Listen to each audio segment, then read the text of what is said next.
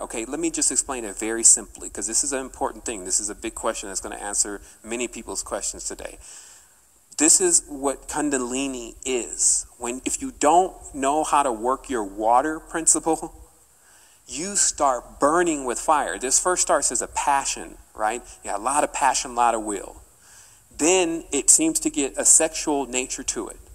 Then that sexual nature then deviates, if not if, if not doused out not, you're not putting out your fire, but you need to contain your fire. And so again, then the person will deviate and then they generally blend their sexes then. And this is what you see going on in, in the industry, especially when they invert the Kundalini. Then the sexes are blend. So the person is basically an external androgynon, which is Baphomet. And it's because you, you externalize Kundalini. If you internalize Kundalini, the two nadis, the fire and the water, actually figure out the balance and they both move up the spine and down the spine. And these are just the energetic centers, where a person wants to call them snakes or not. And then why there is so much uh, bad press on it, kundalini, serpents, etc., is for obvious reasons. Once you amplify your energy, if the person doesn't stay in balance, look out. And this is what you're seeing in the industry. That's why there's so much talent there like you get folks remembering lines and acting with four or five movies, and there's some real talent there. You can't deny it. But that talent is from degrees of the fire to beings that don't even uh, understand the water principle much. And the water principle is, of course, when's the last time that you actually cried? This is how you'll notice if the organism is getting itself too deep into a fire shell, which is a seed. Seed is a fire shell. And so they, can, they won't cry and they're kind of impenetrable to anything that has to do with real compassion.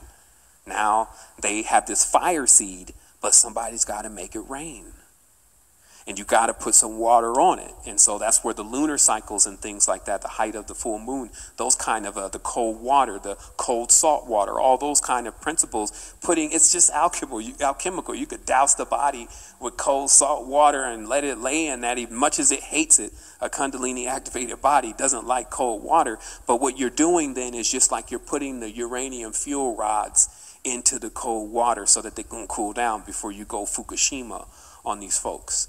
Because remember, when you're, when you're also practicing energy principles, that's the soul, right? And then that's also connected with the body. But what are you putting in your mind? Because if you put it in one of these, you know, the, you're talking about a Hashashin dueler? Like the Moorish Empire for what it really was from Ben Saba, the son of seven? I mean, what kind of research I would, you know, I had to dive through the whole thing because the lure is rich. It's just as thick as it, it's just as thick and as embroidered as the most expensive Persian rug. This culture, but every single turn is yet another deeper path down on the zigzag of the matrices that are built and still running and still under control by Sultan.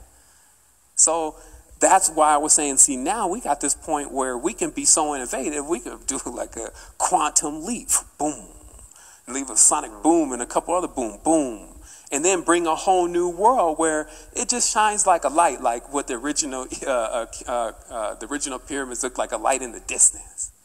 You're like, man, we got to get there. What is that? That's the city that you probably projected with your mind once you escape the catacombs in the netherworlds. you see what I mean? But don't mistake this as something else because it's two. It's the, it's the Devachanic planes that works on duality all the bodies are built symmetrically with one interchanging principle in the center that barely functions most of the time. So see it as it is, and then if you want to progress further within this, understand you're, you're in. You're in. But if you're out, then that means to desist from all this and to start really loading it's an illusion, which it is. And then that way, clearing up your path so that when you pass out of this body, then there's nothing that, that's going to thrust you back into the incarnation because you want to do something over again.